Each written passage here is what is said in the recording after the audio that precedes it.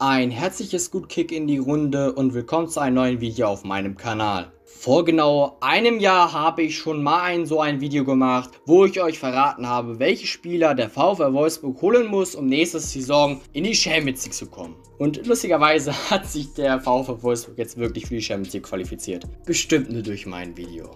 Nein, Spaß beiseite. Der VfL Wolfsburg hatte letzte Saison eine sehr starke Saisonleistung gezeigt und ist verdient das dritte Mal in ihrer Vereinsgeschichte in die UEFA Champions League eingezogen.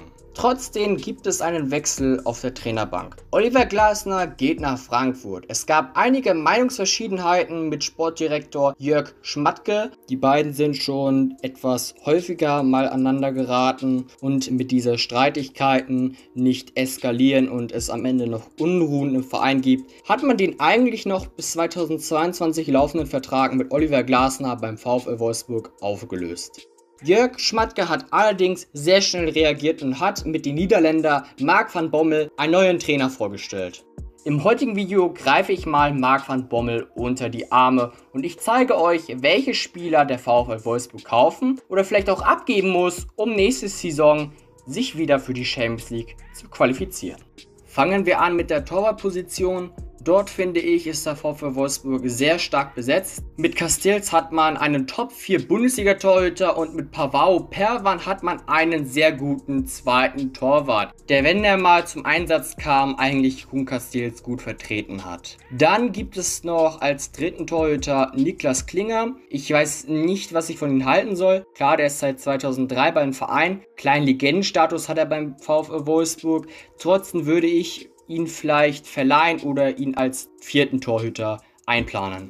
Als dritten Torhüter würde ich mir lieber Ron Torben Hoffmann aus der FC Bayern Jugend holen.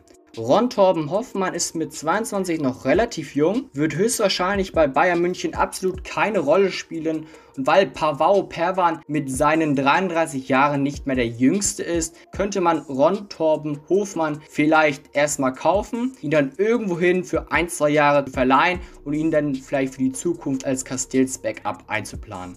In der Rechtsverteidigung ist man mit Kevin Mbabu, Riele Barco und William gut aufgestellt. Trotzdem würde ich mich nochmal nach einem neuen Rechtsverteidiger umschauen. Denn ich denke, mit Barco hat man letzte Saison einen absoluten Top-Transfer gemacht. Wirklich, der hat super Leistung gezeigt. Der hat letzte Saison mit den VfL Wolfsburg grandios gespielt und hat gezeigt, was er kann. Und wird aber für mich sehr wahrscheinlich wieder als Flügelspieler eingeplant.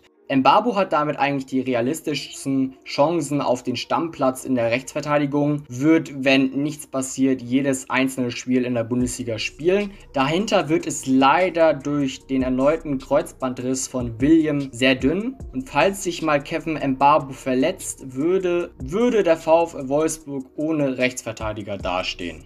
Deswegen wäre ein Transfer von Felix Agu vom SV Werder Bremen zum VfL Wolfsburg sehr sinnvoll. Der, der 21-Jährige kann zwar in der zweiten Fußball-Bundesliga eine Stammposition bei Werder Bremen bekommen, aber anscheinend wäre Agu von einem Wechsel in die Bundesliga nicht abgeneigt, auch wenn er nur auf der Bank sitzen würde. Werder wäre auch nicht abgeneigt, ihn abzugeben, denn Bremen braucht wie gewohnt die Kohle und spielt gerade in der zweiten Liga, könnte wichtig sein, vielleicht für den Aufstiegskampf, um zu überleben. Ja, keine Ahnung, was die damit wollen. Scheiß Zweitligist-Kappa. Und wenn der VfW Wolfsburg vielleicht 3 bis 6 Millionen für ihn zahlt, würde den Wechsel eigentlich nichts im Wege stehen.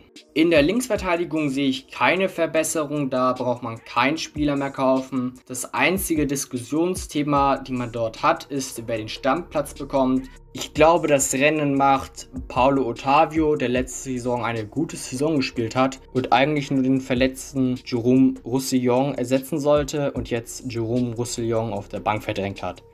Ja. Kommen wir zur Innenverteidigung. Da glaube ich, wird sich sehr viel ändern. In der Innenverteidigung hat man Brooks, der höchstwahrscheinlich Stamm spielen wird. Dann hat man sich noch für 14,5 Millionen Sebastian Bono vom 1. FC Köln geholt. Der wird sicherlich auch von Anfang an spielen.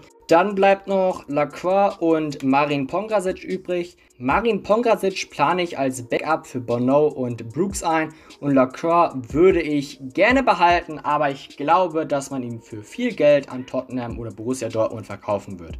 Deswegen würde ich mich noch um einen zweiten Backup für Sebastian Bornau und Marin Pongracic wünschen.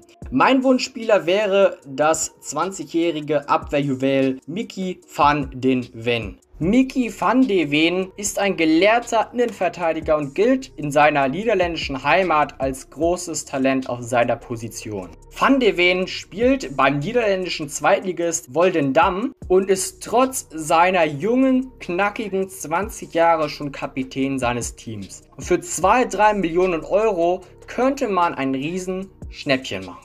Wo man sich noch dringend noch verbessern muss, ist im zentralen defensiven Mittelfeld. Dort können beispielsweise Sava Schlager und Maximilian Arnold spielen, allerdings sehe ich sie im 3-4-3 eher etwas offensiver. Und Elvis Rexbescheid, der Leihrückkehrer vom 1. FC Köln, ist leider aktuell verletzt. Der einzige, der noch in Frage kommen würde, wäre Joshua Gülavogi. Allerdings finde ich ihn nicht gut genug für die Startelf und ich würde ihn eher auf die Bank setzen. Mein Plan für die Sechserposition ist Thomas Delaney von Borussia Dortmund. Thomas Delaney hat mit Dänemark bei der EM ein super Turnier gespielt. Er hat 100% alle Spiele für Dänemark absolviert, spielt bei Dortmund eh keine Rolle und vielleicht könnte man sich da vielleicht auf eine Laie einigen.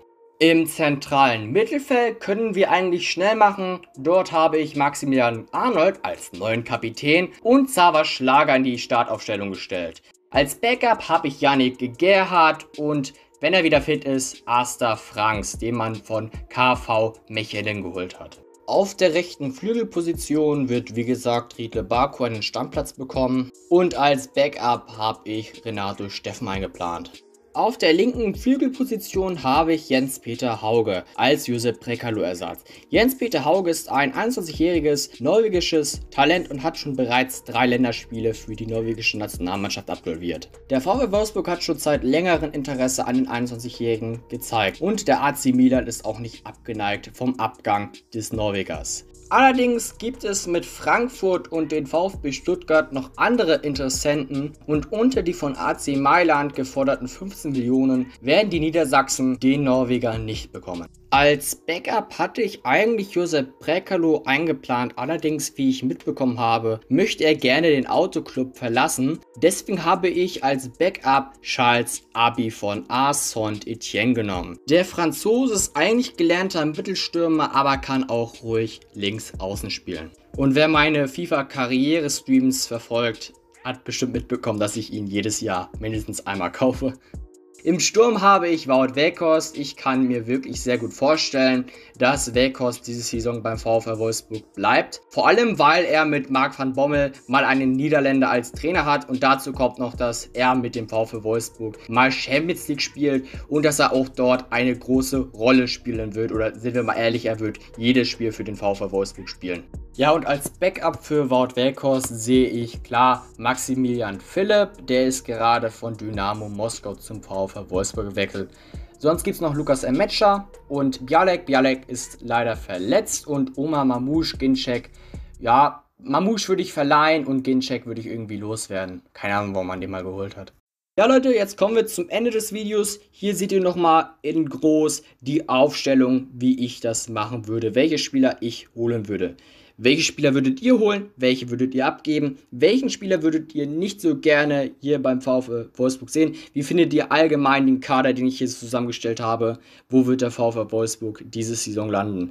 Ich glaube, damit wäre die Champions League Qualifikation zumindest möglich und vielleicht auch das Überstehen der Gruppenphase. Was ist eure Meinung? Das war's mit dem Video. Bis zum nächsten Mal und ciao.